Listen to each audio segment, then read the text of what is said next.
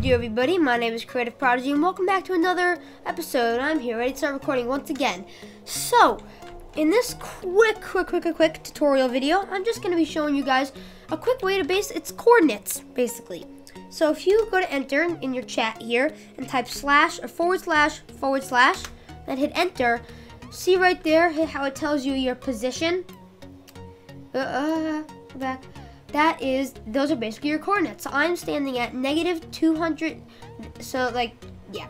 So th this is the x value, this is the y value, this is y, this is x, this is z.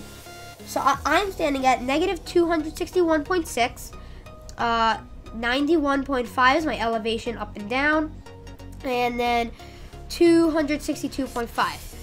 So that is where I'm standing, and that is a quick tutorial on just how to do basic coordinates. And also, so let me just show you how this, let me just show you it works. Uh, let me just get up on top of this mountain maybe, get some elevation, and then I do slash slash again, and see how it, it's changed.